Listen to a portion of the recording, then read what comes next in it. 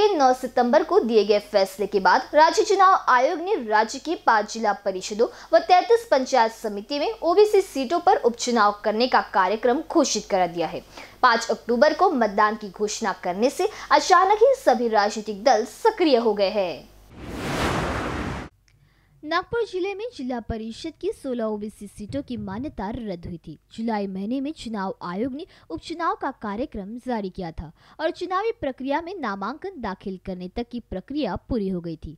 राज्य सरकार द्वारा आयोग से कोरोना को देखते हुए चुनाव प्रक्रिया आगे बढ़ाने का निवेदन किया गया था और आयोग ने चुनाव को जैसे के तैसे ही स्थिति में स्थगित किया था। अब सुप्रीम कोर्ट के आदेश पर आयोग ने अचानक ही पाँच अक्टूबर को मतदान की घोषणा कर दी, जिससे ज़िले में हलचल मच गई है। किसी ने कल्पना नहीं की थी कि अचानक ही कार्यक्रम घोषित हो जाएगा, क्योंकि सभी दल ओबीसी आरक्षण के बिना चुनाव नहीं होने देने का दम भर रहे थे। सुप्रीम कोर्ट 23 सितंबर को इस संदर्भ में सुनवाई है।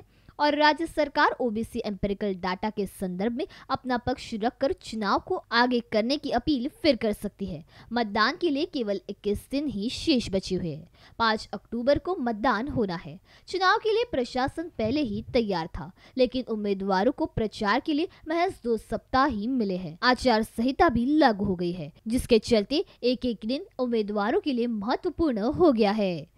कैमरा पर्सन राजकुमार मोड़ के साथ दिशा हटवार बीसी न्यूज़ नागपुर।